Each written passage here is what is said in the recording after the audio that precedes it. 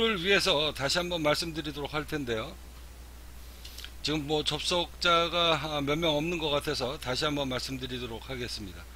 자, 아침장에 갭상으로 쳐서요. 주가가 밀리기 시작을 했습니다. 자, 밀렸을 때 제가 여러분들한테 뭐라고 말씀드렸습니까?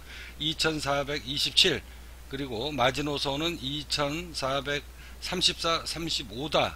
아, 저 2424 25다. 라고 말씀을 드렸습니다. 자, 여기에서 바닥을 찍고 이제 주가가 기술적 반등 구간이 왔죠.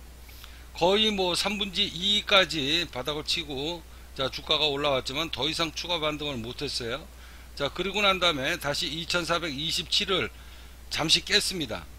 자, 잠시 깼어도 2425 전저점, 전저점에서 지지를 받으면서 이제 시간이 올라가서 주가가 상방으로 지금 치고 있는데요. 자, 오늘의 최고점, 최고점을 요 구간에서 돌파를 했습니다. 요 구간이 11시 뭐 한 10분 정도의 돌파 시도를 했죠. 그리고 나서 어, 추가 반등이 지금 강하게 오고 있는데요. 자, 앞서 오늘 아침장에 여러분들한테 이야기했다시피 이미 선물 매도 세력들, 선물 매도 세력들을 그리고 어, 풋옵션 하락장에다가 배팅했던 풋옵션 어, 매도 물량이 지금 막 공중분해가 되고 있는 상황이다. 이제 막 그냥 뭐 각계전 투죠. 어, 혼자 살기 바빠요. 자, 주가가 어제도 미국장이 주가가 빠졌는데 어, 디커플링이 나오면서 강하게 상방을 뚫었을 때 아침장에 주가가 어, 하락장에다가 배팅했는 사람들이 이제 막 죽기 시작을 한 겁니다. 어쩔 수 없이 이제 각자 도생을 하는 방법밖에 없는 거죠. 자, 그 신호가 나오기 시작을 했고요. 오늘 아침 장서부터 제가 여러분들한테 뭐라고 말씀드렸냐? 이제 2500포인트, 지난번에 최고점인 2500포인트 8월 3일인가 13일 날 그 고점을 향해서 주가가 지금 움직이는 방향으로 가겠다 이런 뜻인데요. 자, 올라간다라고 해도요. 언제든지 뭐 주가가 하방 압력이 직전 전 고점, 직전 전 고점에서는 항상 강한 저항을 받고 밀리게 되어 있습니다. 그래서 인버스라든가 아니면 선물 매도 세력들을 완벽하게 죽이기 위해선 자 죽이기 위해서는 그러면 어떤 방향이 나와야 되냐 8월 13일 날 이렇게 아침에 갭상을 쳤었던 이 시초가 이 시초가를요 이 구간에서 한번 강하게 한번 때려 맞을 거예요 이 구간에서 다시 선물 매도 세력들 그리고 하락장에다가 배팅하는 사람들이 힘이 결집이 여기서 일어나지 못하면은요 추가 상방이 아주 강하게 오면서 신고가 갱신을 하는 2600포인트를 향하는 그런 아, 추세 돌파의 흐름이 아, 앞으로 진행이 될 확률이 굉장히 높습니다. 자, 왜 그러냐면요. 오늘 장에도 지금 주가가 마지막 선방을 해야 되는 그 구간에서 지금 그냥 무너진 거거든요. 하락장에다가 배팅하는 사람들이 지금 너도나도 뭐 서로 살려고 지금 막 도망을 치는 그런 상황이고 포지션이 지금 구축이 안 되고 있어요. 그래서 어 이제 이 모습이 나오려 그러면 직전 종고점 아까 제가 말씀드렸던 그 2500포인트 라인 일봉상 거기를 돌파 시도를 이번에 콜이 강하게 할 수가 있습니다. 자 거기에다가 미국장이 거기에다가 미국장이 지금 상승 추세 구간이라고 제가 말씀드렸죠. 어제도 제가 동영상에다가 녹음을 했지만 아, 해외 선물 시장은 어제는 무조건 올라가야 된다. 확률은 90% 거의 100%인데 어, 제가 10% 정도만 그냥 못 올라간다에 배팅을 한다라고 얘기했죠. 확률적으로는 무조건 100%인데 90%로 제가 확률을 두겠다. 그리고 난 다음에 이제 어제 주가가 뭐 강하게 올라가지는 않았지만 일단 상승 추세로 마감이 떨어졌습니다. 그래서 이번 주에 S&P 나스닥은 일단 월화수는 무조건 올라가야 돼요. 어제는 올라갔는데 오늘이 이제 문제입니다. 오늘이.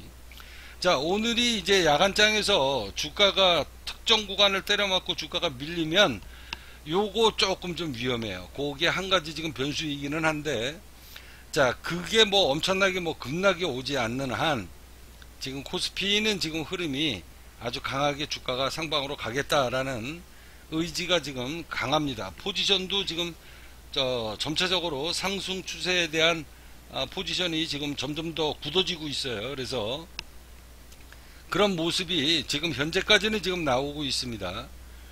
자, 아, 주가의 흐름이 어디로 갈지 아, 지금 뭐 좋은 방향으로 뭐 우리 주식 투자를 하니까 음, 위로 올라가는 방향으로 일단 올라갈 때 거품이 잔뜩 낄 정도까지 아주 확실하게 올라가든가 아, 그렇게 해서 확실하게 그냥 상방으로 쳐주는 게 좋다. 이것도 아니고 저것도 아니고 죽도밥도 아니면 포지션을 우리가 편안하게 가지고 갈 수가 없습니다. 그래서 일단은 상승 추세가 지금 강하, 어, 강하고 어제 어제서부터 이제 주가가 돌기 시작을 한 거예요 상방으로 어제 미국장이 하락을 했을 때 우리나라가 개파락으로 떨어져서 일봉상 21선 밑에서 주가가 놀기 시작을 했으면은요 추세가 그냥 확 꺾이는 겁니다 꺾이는 건데 미국장이 하락장이었는데도 이걸 완전하게 판을 뒤집었잖아요 자 여기 여러분들 이 지표를 잘 보세요 자, 자 지금 일봉이 일봉이 지금 위로 지금 지금 도는 거 보이죠? 자 지난주까지만 해도 얘가 꺾였단 말이에요. 얘가 얘가 꺾였는데 어제 판을 완전하게 뒤집어 엎는 바람에 추세가 지금 상방으로 돌았어요.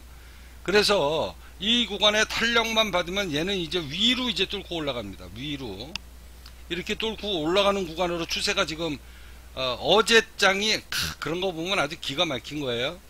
아, 이 새끼들이 아, 아유 이 새끼들이란다. 여러분들이 뭔가 좀 알긴 압니다. 그래서 추세를 지금 아, 일봉에 대한 그 기준선의 추세를 어제 아주 강하게 돌린 거예요. 자 거기에다가 아, 나스닥하고 S&P까지 추가 급락이 없고 상방을 이번 주까지는 유지가, 유지가 될 확률이 높기 때문에 어, 그것을 이제 다 간파를 하고 있는 것 같습니다. 제가 보기엔 어, 어떻게 됐든 어제 주가가 돌기 시작을 하면서 오늘 이제 추가 반등권을 주니까 자 이평선이 하락장으로 이렇게 유지가 되다가 지금 위로 지금 돌고 있거든요. 자 여러분들 이걸 잘 기억하시고요. 자 특별한 아, 요게 뭐 오늘이든 내일이든 바로 주가가 빠지면 이 이평선도 꺾입니다. 지금 고 구간이야. 그래서 이거를 강하게 뚫고 올라가 줘야 돼요.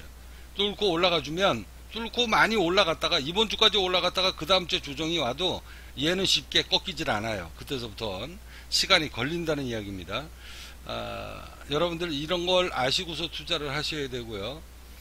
자 이번 장은 뭐 아직까지는 강한 반등장이 아, 유지가 될 것 같습니다.